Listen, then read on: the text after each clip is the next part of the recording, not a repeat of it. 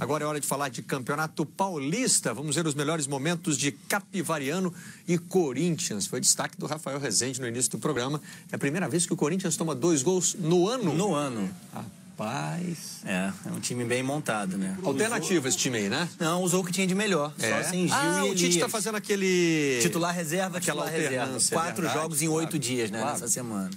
Verdade. Aí o lance que facilitou as coisas pro time do Corinthians. Renato Augusto arrancando, tomando a bola do Oliveira, o lateral direito Então, vocês já querem discutir ou a gente volta depois para mostrar com detalhe? Deixa eu só saber primeiro aqui, todo mundo concorda com a expulsão? Isso é lance para vermelho? Eu concordo. O goleirão saiu da área, capitão, lá, com a mão no chão e pum, tapa na bola. Situação clara e manifesta de gol. É. Porque o jogador do Corinthians ia apanhar a bola na frente. E ele abre o gol. braço. É, é expulsão.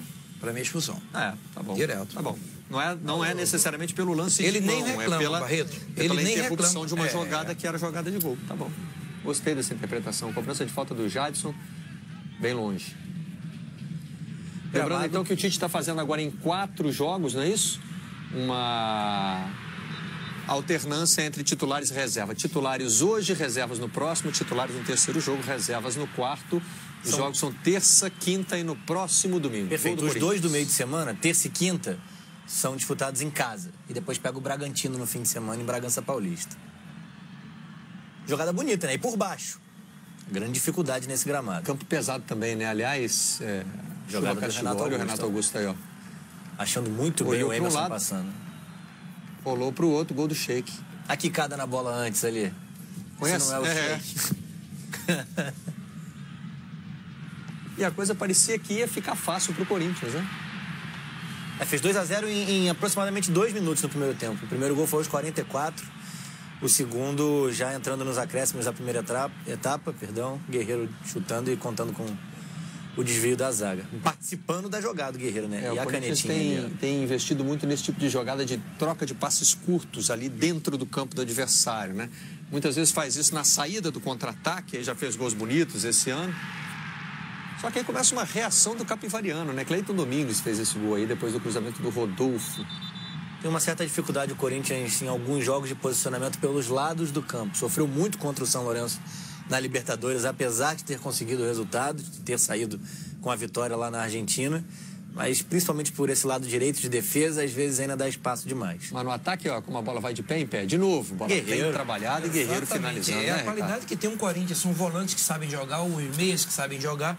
E você vê, é, é num campo ruim, porque esse campo também é um campo que está bastante Tá sofrido. Todos e, os ele- e eles. Barreto, eles tocam a bola.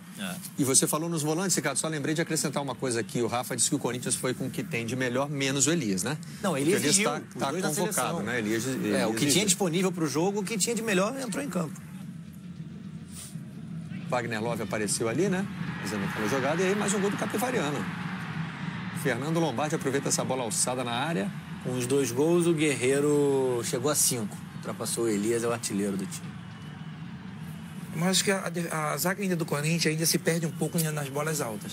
Ele, no último jogo contra o Danube, eles tiveram um problema. Mesmo ganhando o jogo, mas tiveram um problema nas bolas altas. Cássio, nos dois gols, ele pareceu meio travado. No primeiro, eu até Ele fiquei olhando para ver se ele tinha escorregado. equilíbrio. Eu Mas... acho que ele teve, ele achou que escorregaria se saísse para a bola. Ah, parece Não que- sentiu, sentiu dificuldade para tracionar. Parece que gramado. estava meio inseguro ali. Bom, já vimos os melhores momentos. É hora de ouvir Tite, técnico do Corinthians. Mas antes da bronca, ela vem o enaltecimento de uma grande campanha. Deu Mas pra antes resolver, o Rafa bronca, viu. Ela vem o reconhecimento de mudanças de peças e mantendo o padrão. Mas antes da bronca vem toda uma mobilização e, por vezes, tempo curto de, de, de recuperação que os atletas estão tendo e estão fazendo e estão incorporando. Antes da bronca vem o reconhecimento, inclusive, de que eles estão sendo pressionados pelo técnico, mas têm tido a capacidade de dar resposta dentro do campo. Isso, vem a cobrança. Mas é um fato, e seu time sempre foi muito reconhecido por não sofrer gols. Des- Dessa vez você sofreu, o seu time sofreu. Vamos escolher, vamos pegar um fato isolado e pensar como caixinha, aí a gente pode fazer isso. Ou vamos pegar os 18 jogos e escolher. Tá aí, cada um escolha a análise que quer. Não, a gente tem que procurar não tomar gol sempre, né? Mas a gente sabe que tem hora que vai tomar. É, futebol é assim, sou feliz na, na jogada, bola parada. É sinal que a gente tem que continuar trabalhando para não falhar mais. Não, eu acho que o que atrapalhou também um pouco o gramado, né? É, pelo nosso futebol, os jogadores técnicos na frente, que de repente atrapalha, né, na, na domínio na bola. O campo ali, você veio ali no meio de campo ali, é difícil de dominar. Mas como eu falei, o importante foi a vitória. Quando... Difícil de dominar, mas como eu falei, o importante foi a vitória. Quando o time começa a ser cobrado porque tomou gol e não porque perdeu, é sinal de que a coisa está bem encaminhada, né? O Corinthians, questionamento que tem, pô, tomaram gol. Lembra mas ganharam o jogo. o 0x0, empatou em casa 0x0. questionamento que tem, pô, tomaram gol. Lembra fim mas ganharam o jogo. o 0x0, empatou em casa 0x0. Também foi cobrado, é.